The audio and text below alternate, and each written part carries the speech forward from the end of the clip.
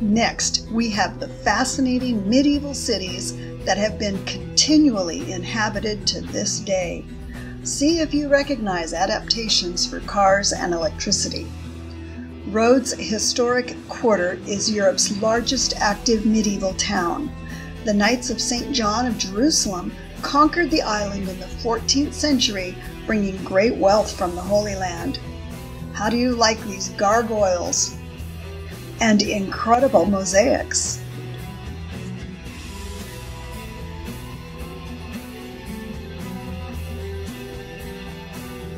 Crete holds the title for Europe's earliest recorded civilization, and Heraklion its most strongly fortified city. Kotor is home to this charming red roofed city, one of the Adriatic's best preserved medieval old towns. Dubrovnik's medieval streets and incredibly preserved structures were so stunning that George Bernard Shaw called it Paradise on Earth. Today, it's also famous thanks to Game of Thrones and great beaches.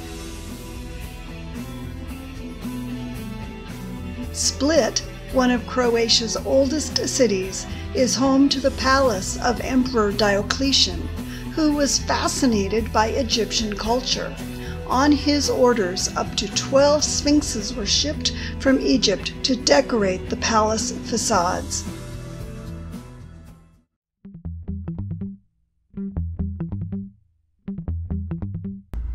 Another special moment was driving 4x4s in Corfu up to the island's oldest villages that still cherish a traditional way of life. Hope you enjoy the trip with us.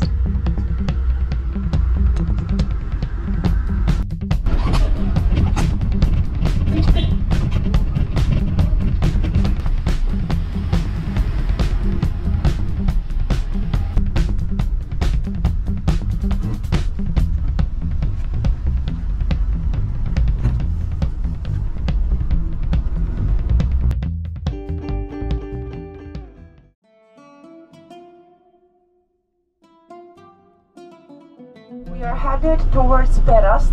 It's a small village and it's about it's like 10 kilometers, less than even less than 10 kilometers from here. On Our Lady of the Rocks, and we will learn about the story of the island. It's a beautiful story. Moved and lived the three in three countries without changing my address. and it's because I was born in Yugoslavia, then it changed to Serbia and Montenegro, and I now live in Montenegro. The island was built in order to thank Our Lady for saving one of two brothers that found her picture in that very same place. Local seamen began putting stones there after every successful voyage. The custom continues today. The church was built in 15th century and is filled with donations of art. It's very special to the locals.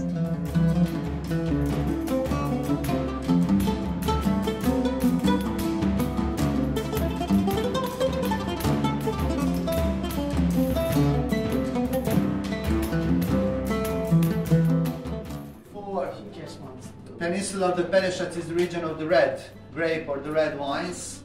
So more than 90% of all vineyards here are the same local variety of the grape called Plavac Mali, small blue, correctly in English.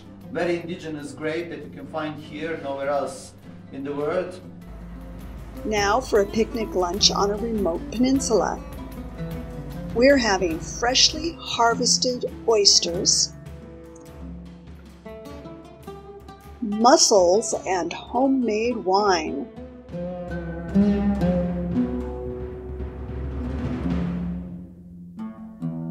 And uh, once we come to Omiš, we are going to take a boat and to have uh, a cruise along the Cetina River.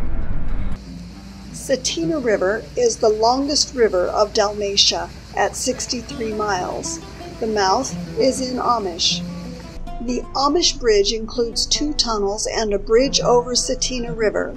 The bridge will be 236 yards long. They hope to have it complete by the end of this year.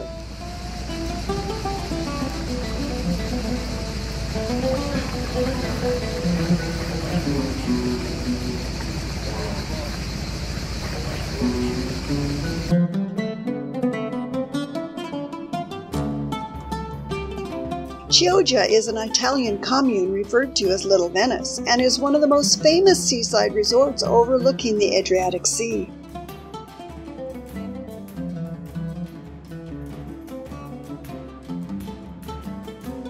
We stayed a couple extra days in our final destination, the beloved Venice, where you get around by foot or by water. The Leonardo da Vinci Museum was quite the eye opener to me so much more than a famous artist. Genius seems to be an understatement.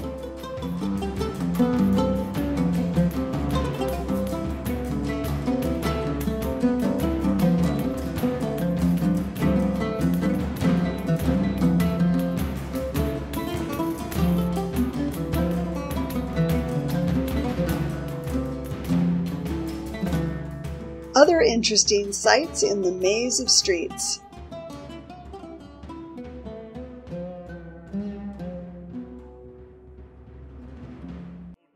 It's time for our gondola ride. Delle belle turbando riposo, Narcisetto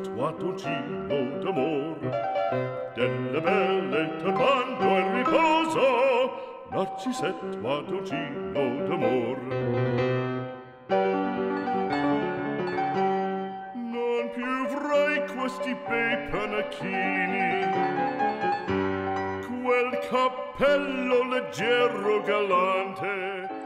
A trip to Venice is not complete without visiting Murano Island for a glass blowing experience.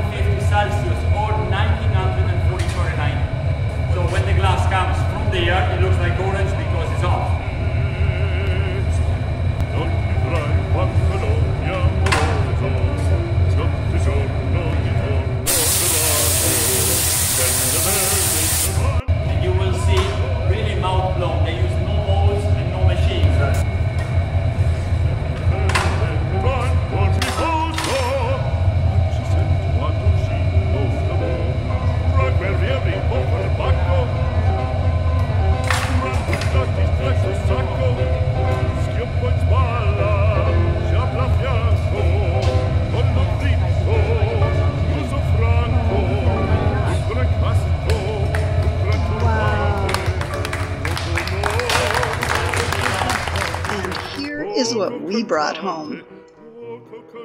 Burano Island is synonymous with color, and that completes this incredible journey.